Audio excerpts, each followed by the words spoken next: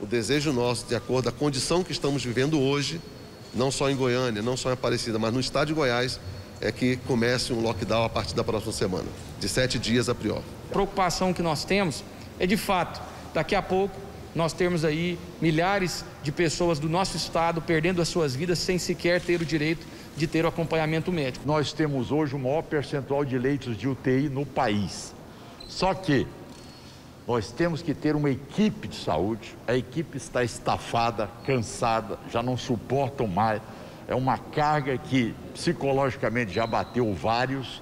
E com isso, nós precisamos da contrapartida da população.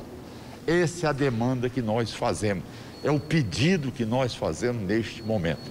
Ninguém quer causar prejuízo a quem quer que seja. O que nós queremos é salvar vida. E que, por favor, entendam um período curto para nós baixarmos esse percentual e não chegarmos ao ponto que a população não tenha serviço médico para ser atendida.